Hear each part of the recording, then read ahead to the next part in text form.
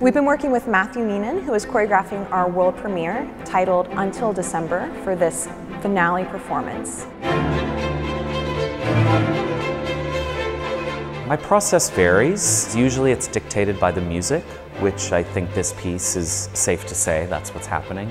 Uh, and then a concept develops, and a lot of times the dancer really helps you develop that concept because they bring their own personality and their own heart and their soul to it that you can't help make it about the dancer.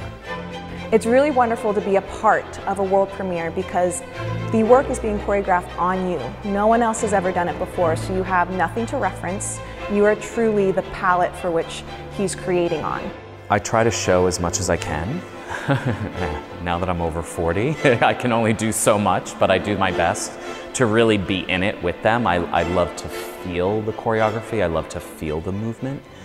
The passion for the work is really coming just from even being here in Vegas. I haven't been here in many years and also working with Roy again. He's kind of like a father figure slash big brother to me. So just having that relationship with him again has been really, really special. The movement's very different from anything else in the program. Definitely the most contemporary work. Las Vegas audiences should be very excited because this will be the first time this work has ever been seen. It's really exciting to be bringing a work by Christopher Wheeldon to Las Vegas. He's a famed choreographer. He won a Tony Award for his choreography in An American in Paris. Carousel really condenses the full two-hour musical into a 15-minute ballet that's absolutely beautiful and you'll see the resemblances of the horses on a carousel through our movements throughout the ballet.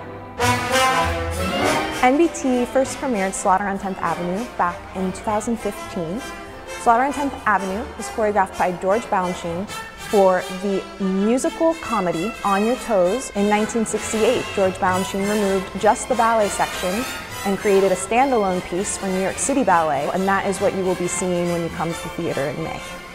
Slaughter on 10th Avenue has everything. It has jazz, romance, humor, and drama.